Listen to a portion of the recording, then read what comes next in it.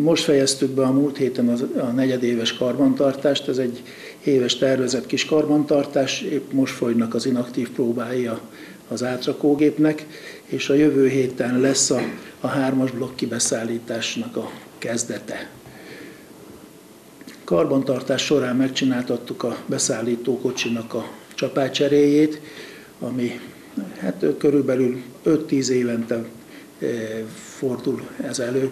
Ezzel a gondolattal kezdte beszámolóját hétfőn Bara László, a kiégett kazetták átmeneti tárolójának telephelyvezetője a térség településeinek polgármestereit tájékoztatta, többek között az elmúlt időszak karbantartásairól. Az RHK Kft. kiemelt hangsúlyt fektet az információk átadására, ezért várták március 21-én a település vezetőket.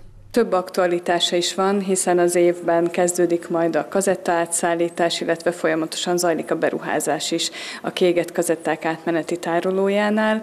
A tároló az atomerőmű igényeihez megfelelően igazodva bővül folyamatosan, és most is egy ilyen projekt zajlik éppen a, éppen a tároló életében. Úgyhogy mindig van aktualitás, de most kiemelt jelentőségűek is, azt, azt gondolom ezek az aktualitások, és nem utolsó sorban szerződéses kötelezettségek kötelezettségünk is, hogy negyed évente tájékoztassuk a polgármestereket a tevékenységünket illetően. A beruházásnak köszönhetően jelentősen mint egy duplájára emelkedik majd a tároló kihasználtsága. Az RHK Kft-vel szoros kapcsolatban áll a Társadalmi Ellenőrző Információs és Településfejlesztési Társulás. Filvig Géza elnök szerint kiemelten fontos, hogy a környező települések mindig friss információt kapjanak az RHK Kft tevékenységéről.